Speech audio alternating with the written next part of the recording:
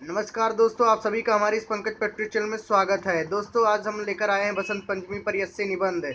दोस्तों, बसंत पंचमी इसलिए मनाई जाती है कि पुराने मनीषियों तथा शास्त्र के अनुसार इस दिन सरस्वती जी का जन्म हुआ था। इसलिए इस निबंध पर सरस्वती पूजन की व्यवस्था होती है और किया जाता है।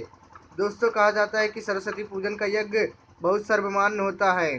विद्यादायनी माँ शारदे की पूजन यज्ञ में परीक्षाओं में लिखने के लिए पेन को सेका जाता है।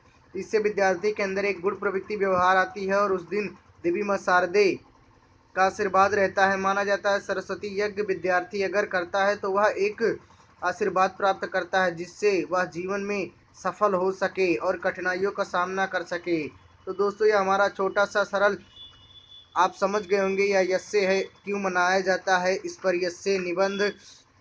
दोस्तों, इस दिन क्या होता है? और अगर पूजन किया जाता है तो क्या होता है हमें करने पर? तो दोस्तों, अगर यह वीडियो आप सभी को पसंद आए तो इस वीडियो को सब्सक्राइब, लाइक ज़रूर करिएगा। धन्यवाद। धन्यवाद।